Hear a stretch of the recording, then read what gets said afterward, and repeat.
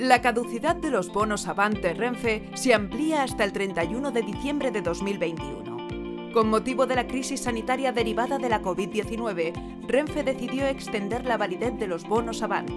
Esta pasó de forma generalizada de 8 a 20 días. En cuanto a los abonos mensuales de 30 a 50 viajes, se podrán utilizar en 60 días en lugar de los 30 actuales.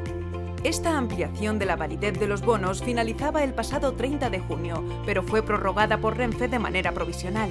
Ahora, esta decisión ha sido ratificada por la Comisión de Seguimiento del Contrato, OSP, por lo que finalmente la validez se amplía hasta el 31 de diciembre.